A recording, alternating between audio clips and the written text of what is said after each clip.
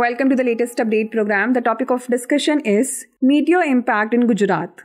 A recent study suggests that a crater located in Gujarat might have resulted from the largest meteorite impact on Earth in the last 50,000 years. This event is believed to have occurred approximately 4,050 years ago. The event could have unleashed significant devastation akin to a nuclear explosion, but without the radioactive fallout. Known locally as the Luna structure, the 1.8 kilometer wide crater has long intrigued scientists. Soil analysis revealed a notably high concentration of iridium, indicating a likely impact by an iron meteorite. Further examination uncovered other meteoric signatures such as wurtzite, cristianite, hercynite, and ulvospinel.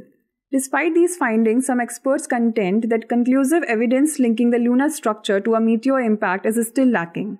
To establish this connection definitively, researchers seek to locate superheated rocks indicative of the intense energy released during impact. If indeed a meteor strike, the event would have triggered shock waves extending up to 5 kilometers and wildfires is spreading even farther. The resulting dust cloud could have obscured the sun for several days over what is now Gujarat, significantly affecting the region. Now is the time to test your knowledge. The question is What is the suspected cause of the crater in Gujarat? Earthquake, volcanic eruption, meteorite impact, or tsunami? Send the answer to this question in the comment section. Thanks for watching.